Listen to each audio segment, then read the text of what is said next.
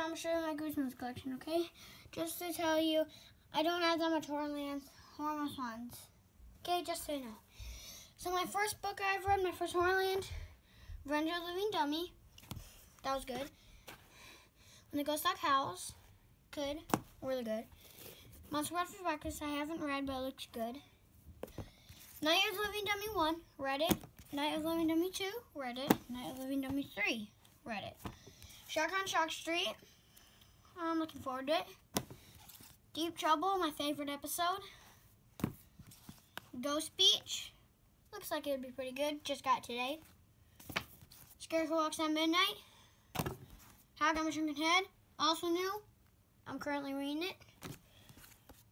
The Blob That Ate Everyone way better than the episode. Stay Out of the Basement looks good. Revenge of the Lawn Gnomes.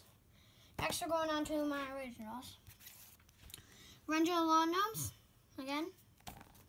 How I Learned to Fly. The Curse of the Mummy's Tomb. Say Cheese and Die.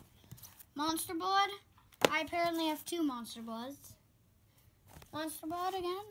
Night Living Dummy. Beware the Snowman. Chicken Chicken. The Haunted Mask. My next set of original classics. One Day at Horrorland. Welcome to Dead House. Scarecrow Walks at Midnight. The Werewolf of Fever Swamp. The Beast from the East. My Hairiest Adventure. Vampire Breath. Welcome to Camp Nightmare.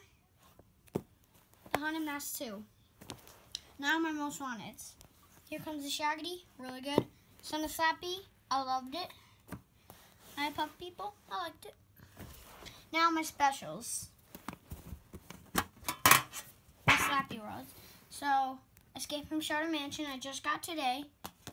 Attack of the Jack, I just finished today. I'm of Evil Twin. I finished it a long time ago. Probably about like a month ago. Slappy Birthday to You. This was probably one of the best Slappy Worlds. Get out there. Now, I got the movie, really good, and the Goosebumps movie novel based on the movie. So, I hope you enjoyed my Goosebumps collection. Bye!